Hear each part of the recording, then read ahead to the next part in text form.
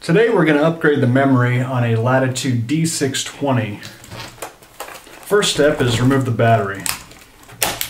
Set it aside. Now there are two slots on a D620 and same goes uh, to a D630. They're nearly identical models. The first one is located under this memory cover right here. Now there's one screw, Phillips. You just pop that out.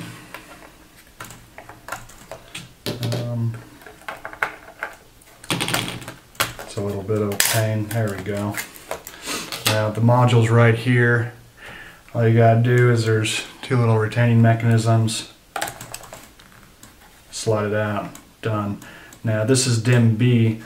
Uh, DIMM A is actually underneath the keyboard. So to put it back in, you go in at an angle, push it down, you're done.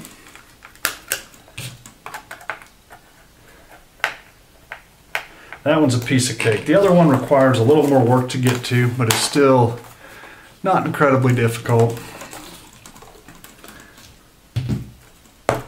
So you need to pop this bezel off. Use a flathead screwdriver on this end right here. And pry the bezel cover over. Now you'll need your small Phillips. There are three screws, one here, one here, and one here. Remove those screws from it.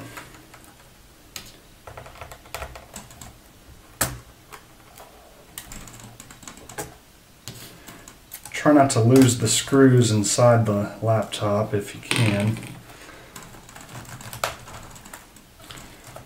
I'm trying to get this last screw out. There, got it. Now this side on this one comes out pretty easy, but you kind of have to go at an angle, kind of wiggle it out there, be gentle with it. Now, you'll notice this module is located right here uh, in this area. To pop this one out, same thing, done, out. Slide it back in, line it up, push it down. Put your keyboard back in, line up the bottom ends, and doesn't always want to go. You may have to give it a slight bend. You don't you don't want to bend it too much because you'll end up damaging it, but there. Now put your three screws back in.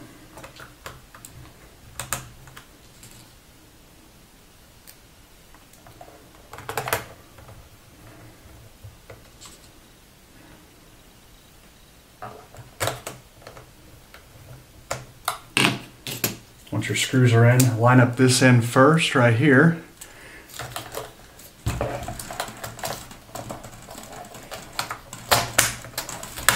It'll snap in, make sure it's secure here. Now work your way across from left to right. Snapping the little clips in.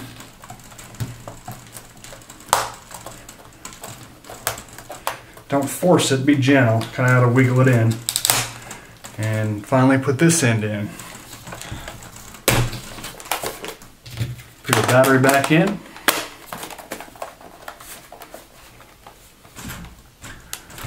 Now if you did everything right, and you were using the right type of memory, it should turn back on, no problems. Now the D620 uses a 667 megahertz memory. Um, I believe the D630 is either 667 or 800, so you might have to look that up. I don't know off the top of my head, but it should be pretty easy to find if you go to one of those memory selector websites that'll tell you what you need.